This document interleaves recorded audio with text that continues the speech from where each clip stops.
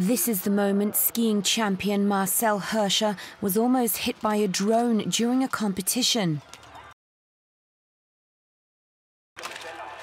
The four times World Cup winner narrowly escaped the device as it crashed during a race at Madonna di Campiglio in Italy.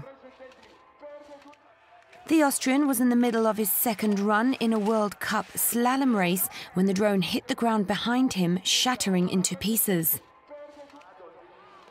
Hirscher, who won a silver medal at Sochi Olympics in 2014, finished second in the race behind Norway's Henrik Kristoffersen. The Men's World Cup is being held in Italy over Christmas with two downhill races in Santa Caterina.